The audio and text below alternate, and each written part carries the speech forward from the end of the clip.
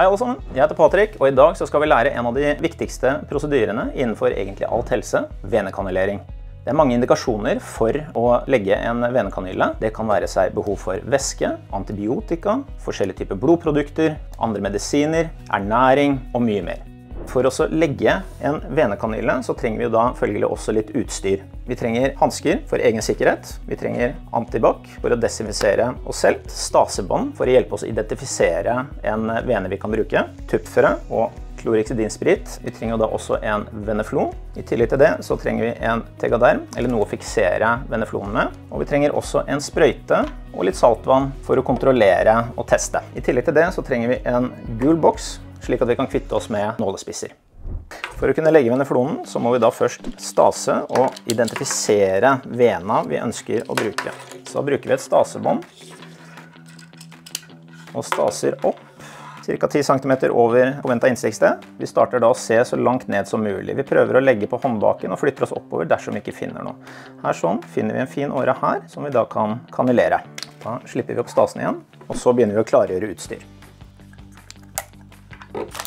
Vi legger da sprit på tuppfrø for å kunne desinfisere området.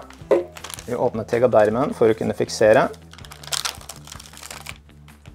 Og vi fyller en sprøyte med saltvann. Slik at det vi har igjen da, det er å åpne veneflonen. Men før vi gjør dette her, så spriter vi hendene en gang til. Og tar på hansker.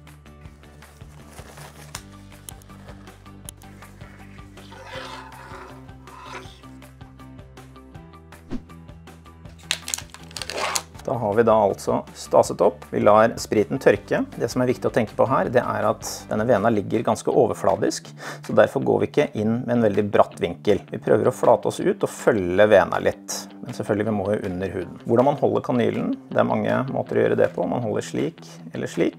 Det anbefaler jeg i hvert fall ikke dette grepet her. Her har du ikke mye kontroll på selve veneflonen. Stikker vi da med relativt grunn vinkel.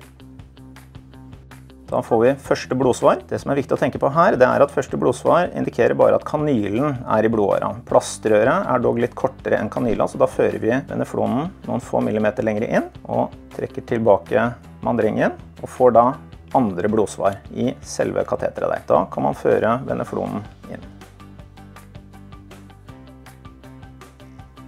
Sånn. Slipper opp stasen.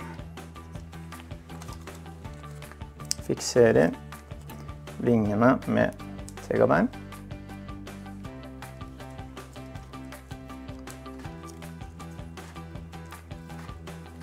Nå står jo damandringen fortsatt i. Løsner litt på den hvite korken. Klemme foran plastrøret, slik at det ikke kommer blod i retur. Fjerner mandringen, og skrur den på plass. Det neste steget er å få testet og skylt Og ser da det er ingen motstand.